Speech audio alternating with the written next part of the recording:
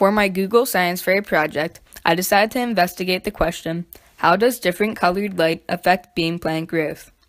I started by creating a box for the beans, which consisted of six sections for the colors of cellophane I would be using, red, yellow, green, blue, purple, and clear. I covered the sections with cellophane so that the light coming from the light fixture would turn into different colors as it passed through the cellophane. From my research, I hypothesized that a cooler color of light given to a bean plant will cause an increase in the overall growth of the plant. From the fact that cooler colors have shorter wavelengths of light and therefore more energy for the beans.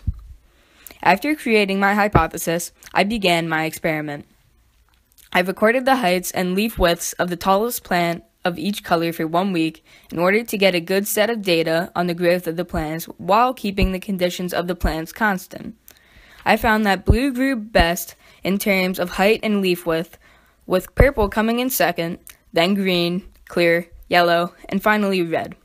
This partially supported my hypothesis by showing cooler colors encouraging more growth and warm colors decreasing growth, but blue growing the best threw my hypothesis off.